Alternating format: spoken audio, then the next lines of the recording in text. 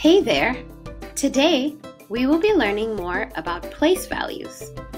In particular, hundreds, tens, and ones place values.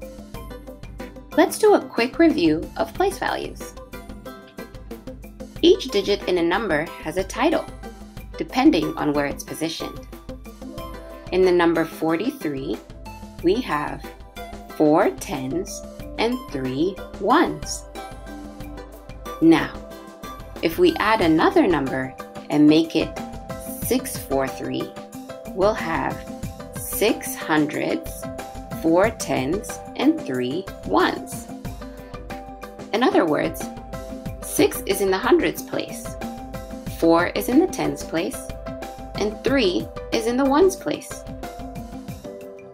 Let's have a visual example by counting the blocks here. First, notice the layers of the blocks. Since each layer has 10 rows of 10 blocks, we can say that each layer has 100 blocks. Next, let's look at the stacks of 10 blocks each. There are 1, 2, 3, 4, 5 stacks. That means we have five tens.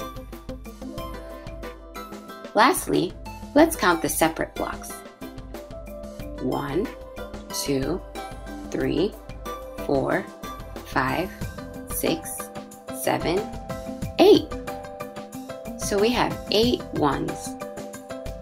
Therefore, we have 758 blocks in total. Good job! Let's do more practice on place values. For the following numbers, choose the value of the underlined digit.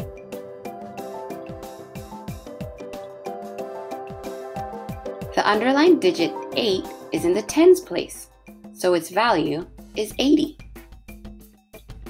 Next,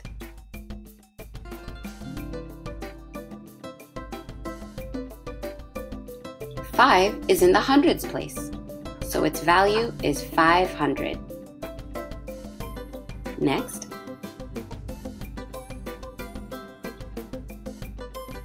here, the underlined digit 7 is in the ones place, so its value is 7.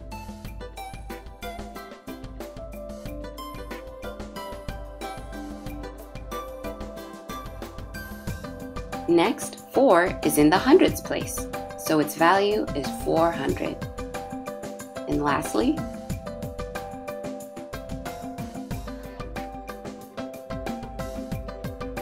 the underlined digit is in the tens place, which means the value of 7 tens is 70. Awesome! That's it for our lesson on hundreds, tens, and ones place values. Hope you had a good time.